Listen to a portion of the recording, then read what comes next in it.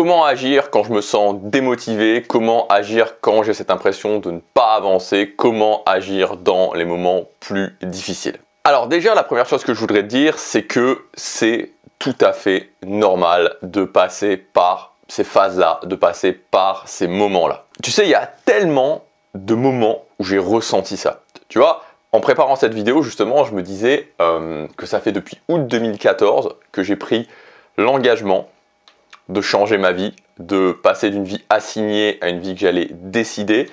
Et euh, je me souviens, en 2014, je me suis dit, ok, je ne sais pas combien de temps ça va prendre. Voilà, je sais pas combien de temps ça va prendre, mais je vais le faire. Et euh, quand justement, quand j'ai fait cette vidéo, euh, je me suis aperçu que cette année, en août, hein, donc en 2023 en août, donc dans quelques mois maintenant, ça fera 9 ans. ça fera 9 ans que j'ai pris cet engagement. Et c'est fou parce que quand je réfléchis au moment de démotivation que j'ai pu ressentir, parfois de démotivation intense que j'ai pu ressentir pendant ces 9 ans, en fait, il y en a eu plein, mais vraiment plein. Il y a eu plein de moments où j'ai été démotivé, voire extrêmement démotivé, voire à certains moments que pour certaines choses, certains objectifs, je n'y croyais plus. Et c'est normal parce que finalement, c'est la nature des êtres humains de passer par ces moments-là, c'est la nature des êtres humains d'être des êtres d'émotion et c'est la nature du succès aussi qui challenge ça, qui challenge nos émotions. Donc dans cette vidéo, je voudrais te donner plusieurs clés pour aller au-delà de ça. La première chose, c'est cette notion d'acceptation et de ne pas chercher à t'en échapper parce que très souvent, le premier réflexe qu'on peut avoir quand on vit ces moments de démotivation, euh, démotivation, je dirais, normale ou des motivations intenses ou des motivations très intenses, c'est de chercher, de ne pas l'accepter, quelque part de chercher à s'en échapper en se disant mais pourquoi moi, pourquoi les autres ils ont pas ça?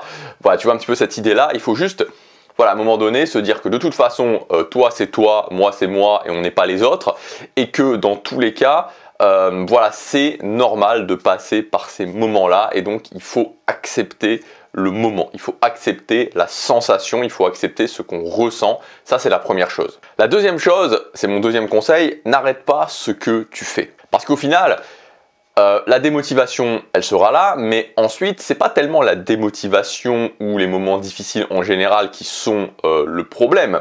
C'est souvent euh, la réaction à ces moments-là qui peuvent être le problème.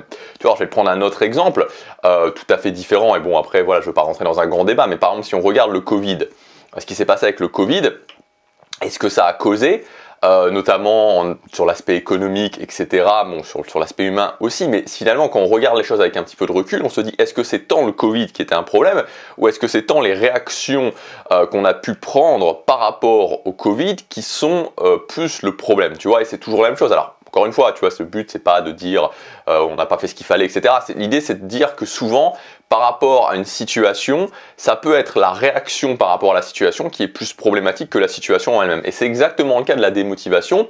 Être démotivé en soi, bah, c'est tout à fait normal. Par contre, là où ça peut y avoir un problème, c'est notre réaction par rapport à cette démotivation.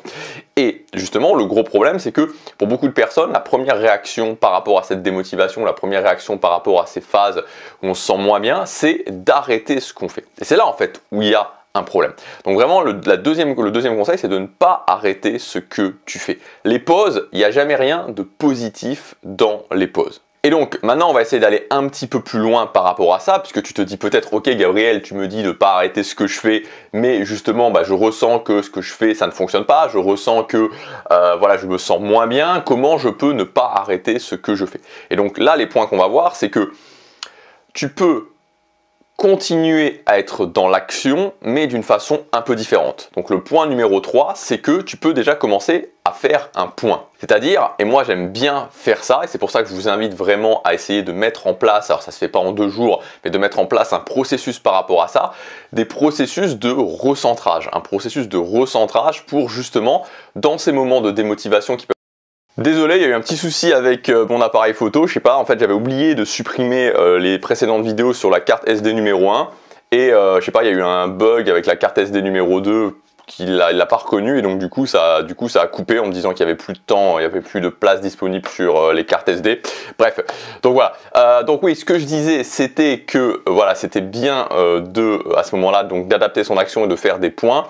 Donc ça peut être faire un point en se demandant bah voilà qu'est-ce qui est vraiment important pour moi, de recentrer ce qu'on veut faire. Et deuxième chose, ça peut être aussi d'éliminer. C'est-à-dire qu'à certains moments, quand on est dans ces phases-là, ça peut être bien de se dire aussi voilà la masse globale des choses que je fais. Est-ce qu'il n'y a pas des choses qui finalement ne m'emmènent pas vraiment là où je veux? Est-ce qu'il n'y a pas des choses à éliminer? Ensuite, quatrième point, c'est de déterminer un planning minimum.